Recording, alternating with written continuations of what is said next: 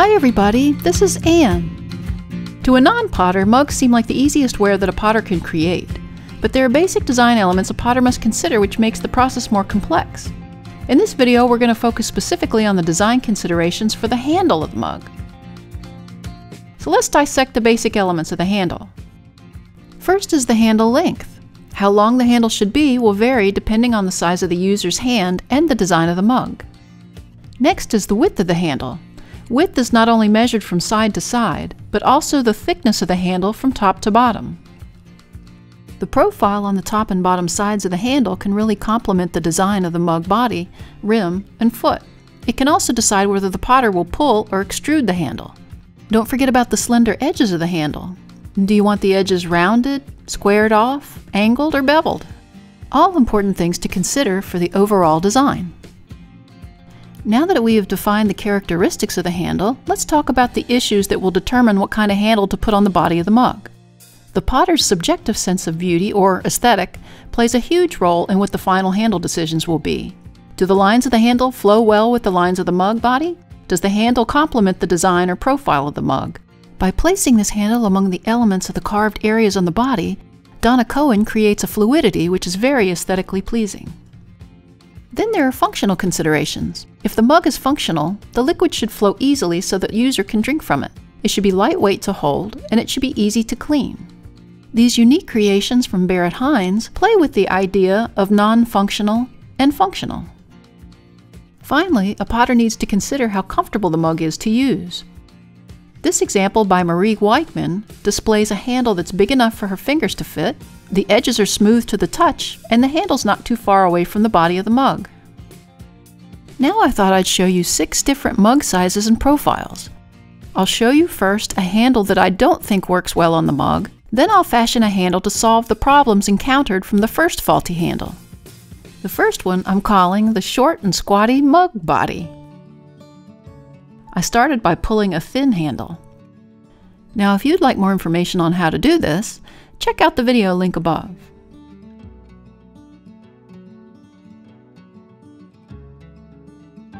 Okay, here's the first handle I attached to the mug that has problems aesthetically, functionally, and potentially with comfort as well. First, the handle's positioned above the rim of the mug. The shape of the handle creates a severe angle to its profile. I prefer gentle flowing lines. In addition, this position makes the handle more vulnerable to being broken off. When I look at it straight on, the handle looks a bit delicate.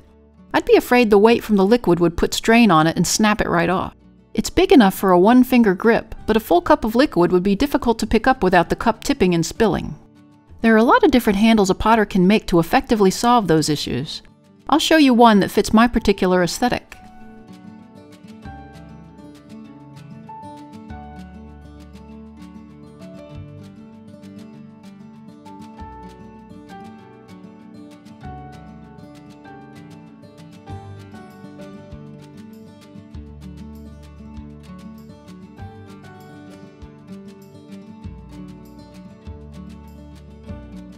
As you can see, the handle sits well below the rim, making it less vulnerable to being hit. I've compressed the ends of the handle, thus creating a larger area for attachment. This still gives the finger a comfortable place to sit without making it look too delicate, like it's going to snap off.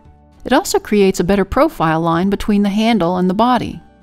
I also want to show you how I beveled the tail end.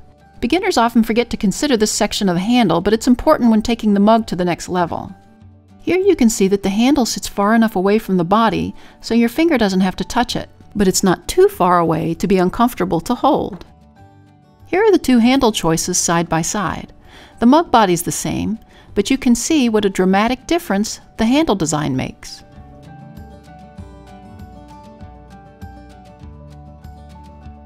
Next I threw a short upside down pyramid shape, then gave a foot a design element. Again, I'll show you a handle with a few problems. I thought I'd play on that inverted pyramid form by echoing that shape.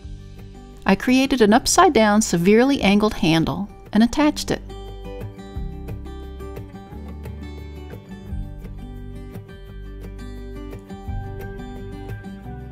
Aesthetically, I like the concept, but right off the bat, I noticed that the handle doesn't line up with the foot design. Second, that severely angled shape doesn't work as well for comfort or function. It creates a sharp pocket at the top that'll pinch the fingers, perhaps even burning them against the heated mug body. If I try to move the fingers downward to the bottom of the handle, the grip is farther away from the mug body, making it more difficult to balance the handle with the heavy body. Just changing the shape of the handle can solve these problems. Here I'm creating a handle the same length, width, and depth as the first one. I decided to turn the handle right side up this time. Here's the shape I chose. The handle extends outward and slightly angled downward, giving the fingers a place to grip the handle without pinching them or without the fear of burning them. I've centered the handle over top of one of the foot indentations so that aesthetically the lines flow well.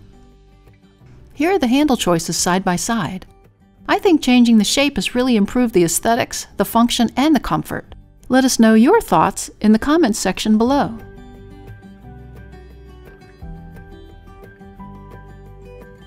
Next I threw a right side up pyramid shape that's a bit larger than the last two. I gave it a little softer curve in the center and added a bit of a profile along the foot. As the mug has a much wider bottom, making it appear bottom heavy, I thought I'd play on that and attach a hefty handle too. As you can see, the handle's a bit jarring. The weighty handle actually adds a visual heft to the more elegant mug body. I did give the inside edge a bit of a bevel, but otherwise the profile is lacking of any finesse. Even though the length of the handle extends from top to bottom, the heft limits the number of fingers I can even fit inside the loop. Plus it makes it more difficult to find a comfortable spot for the rest of the fingers. The extra weight that the handle adds will surely compete for a good balance with the heavy liquid when lifting the mug. This time I'll opt for a more elegant solution by extruding a handle. This particular tool has a profile which echoes the notched profile on the foot.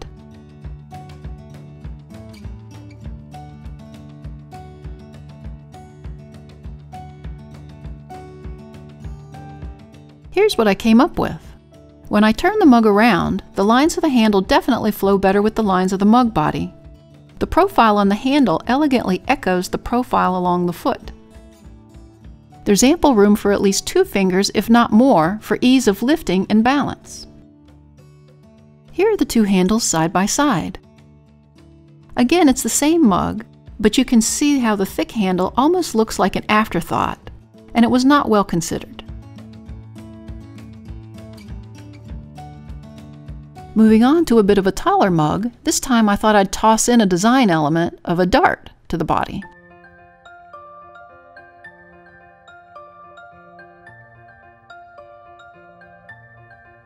Again, I thought I'd extrude a handle, this time with a plain rounded profile.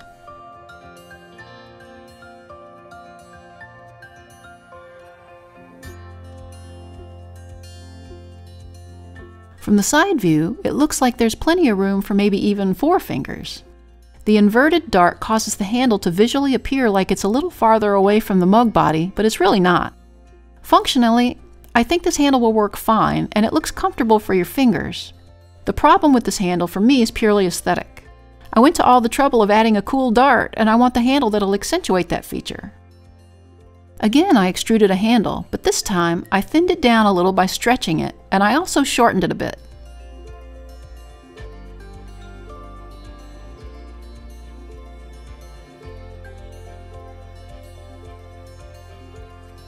here's what I came up with.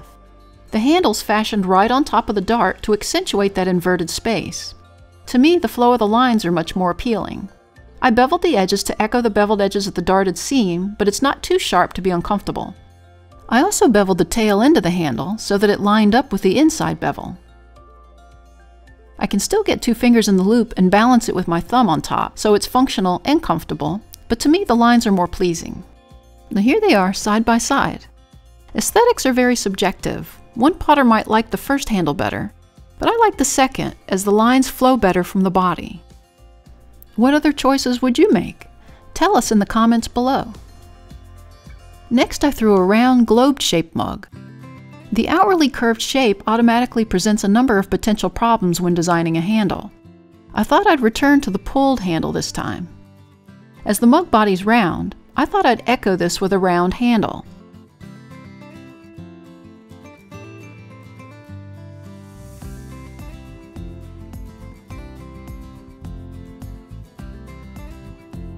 As the body of the mug is already pushing outward, adding a handle that accentuates that push will physically and visually affect the balance of the whole design. Notice that the way I attach the handle by curling the ends toward each other and pushing them into the body wall makes the handle appear disconnected. It just looks slapped on and detached. The distance of the fingers from the mug body will make it difficult to use and uncomfortable to pick up. Let's try something that complements the shape a little more. Here I attached the top of the handle at the collar of the mug. I kept the curve of the handle below the rim to keep it from being vulnerable to being knocked. The lines from the body flow well at the top and the bottom in coordination to the mug body, as opposed to the look of it being like a separate appendage. I even rounded the bottom of the handle to echo the rounded mug shape.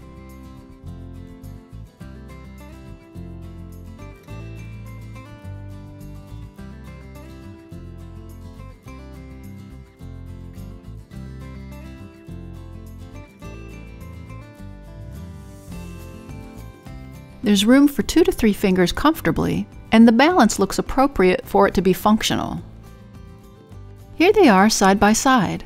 The first one looks separate and apart from the body, as opposed to the second handle which flows from the body and back effortlessly.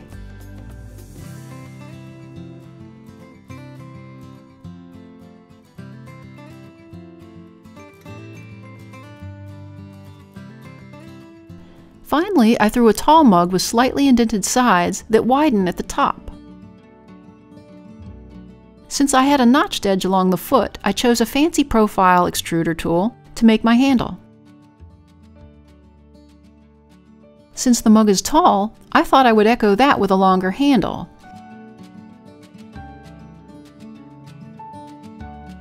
The longer handle extends too far away from the mug body, which also adds to it being uncomfortable, especially to someone with small hands. Being that there's so much room between the attachments, the handle's more vulnerable to being snapped off by the weight of the contents. Even though there's plenty of room for fingers, the handle's too big to be comfortable to lift and balance with the heavy contents. So let me try that again. This time I shortened the handle. I attached it just a bit more towards the top section of the mug so it'll be comfortable to pick up and visually pleasing too.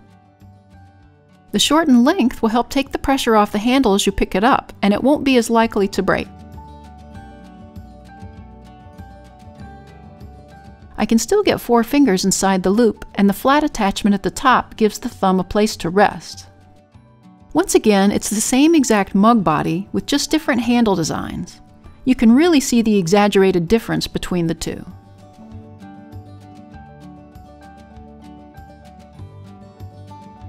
It takes a lot of practice and experience to be able to address all the issues when making specific decisions about what will make your mug handles uniquely yours.